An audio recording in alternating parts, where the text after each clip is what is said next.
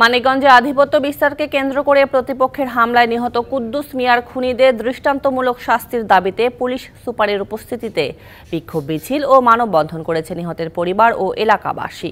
দুপুরে সিংগাইর উপজেলার চান্দহর ইউনিয়নের আটিপাড়া গ্রামে এই কর্মসূচি পালন করা হয়। প্রতিবাদ মিছিলটি আটিপাড়া এলাকার বিভিন্ন সড়ক প্রদক্ষিণ করে, পরে ঘণ্টাব্যাপী মানববন্ধন করেন তারা।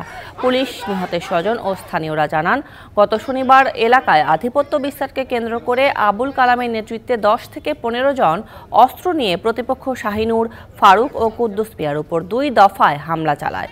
এ সময় দেশীয় অস্ত্রের আঘাতে কুদ্দুস মিয়া সহ বেশ কয়েকজন আহত হন। পরে ঢাকায় নেয়ার পথে চিকিৎসাধীন অবস্থায় কুদ্দুস মিয়া মারা যান। এদিকে দায়িত্ব অবহেলার কারণে সিংগাইর থানার S I Abdus Salam O ASI আজিজুলকে প্রত্যাহার করে জেলা পুলিশ লাইনে সংযুক্ত করা হয়েছে।